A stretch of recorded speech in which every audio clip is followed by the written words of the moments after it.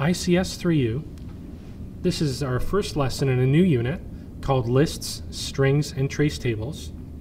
And it's the unit that we do typically after our introductory unit in Java, or at least we have to have that unit under our belt before we, we do this. We already know what strings are, and now we'll be talking about something called uh, lists also, and how a string is really just a list of characters. So if we go to our browser, I've got this document and I'll make this document available to you. I want you to think of a string as just simply a list of characters. So you can see that if our string is hello world, this backslash n is a special character by the way. And it's a special character that lets us go to a new line.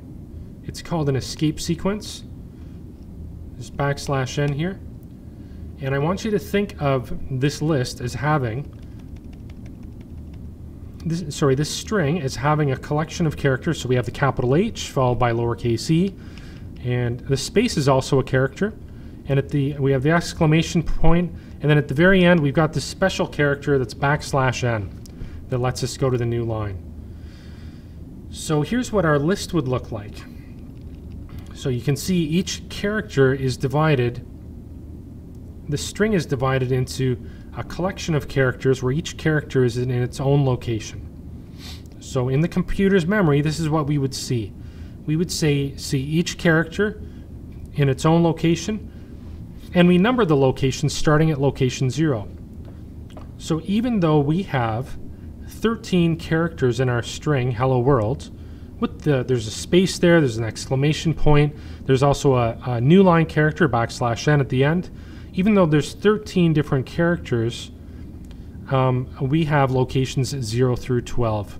And this is a hallmark of strings and how they relate to characters, uh, lists, lists of characters.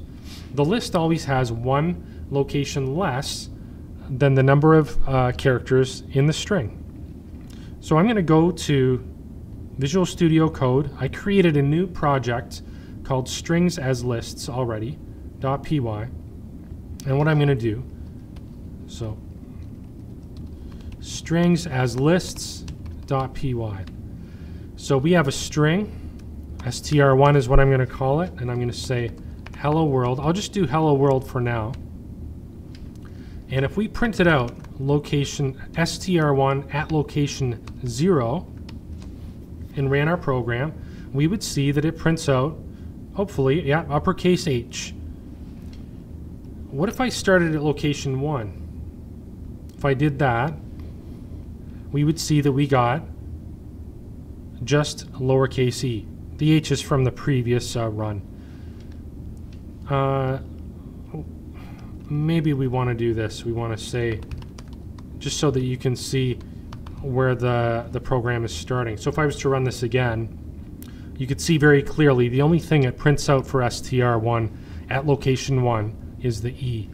We could use a for loop to print out everything in, in the uh, string on its separate lines. And in that case, we would just use I. And um, we already know what a for loop looks like. For I in range, 0, 2. And uh, how many locations are in this uh, message? 1, 2, 3, 4, 5, 6, 7, 8, 9, 10, 11. So if we do 11, let's see what happens when we type in 11 there for the end.